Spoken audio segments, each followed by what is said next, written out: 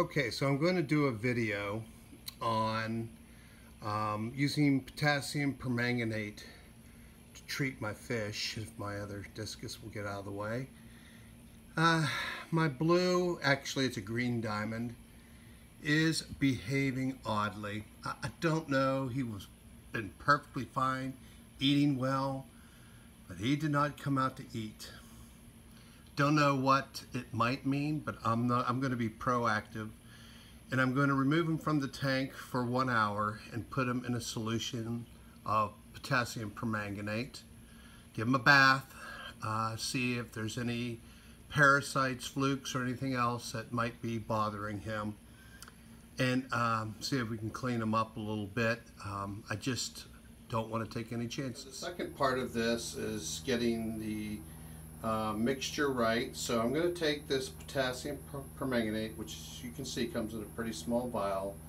I'm going to put it into a cup, just a little bit, dilute it, and then use the dropper to get the tank, the separation tank, isolation tank, uh, to the right color that I want. So in the cup now, you can see I have a really dark purple mix. It takes very little.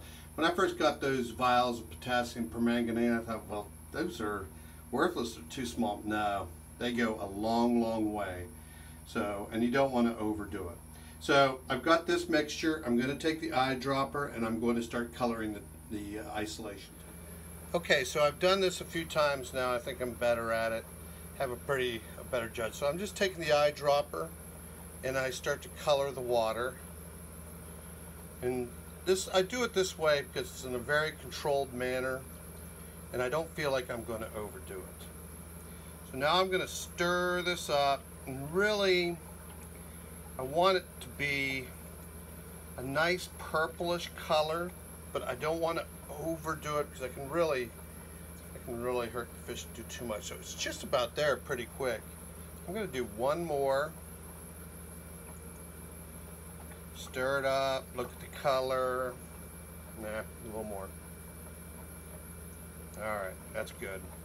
So that's a nice kind of rosy purple color that I like. So now this is done and now I have to get the fish out of the tank. Okay, so that wasn't too bad. I got them out pretty easily.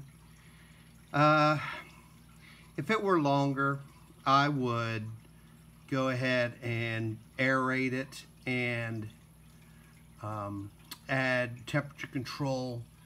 But I'm in a pretty warm room I keep the warm pretty the room pretty warm for them. He'll be okay. And uh, I'm gonna keep him in there 45 minutes to an hour really give it a chance to work. And then I'll reintroduce him. The water I put in here I just took straight from the tank so there's no stress there. And I'll watch for further signs of stress but he seems to be doing okay. So he's back in. No worse for wear.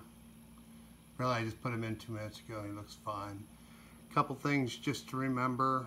I, I try not to do it too often. I don't treat the whole tank if I can help it because it, it'll destroy good bacteria too. And um, so I try to use it wisely, not to overuse it. And um, anyway, um, we'll give a progress report, but I think he'll be just fine.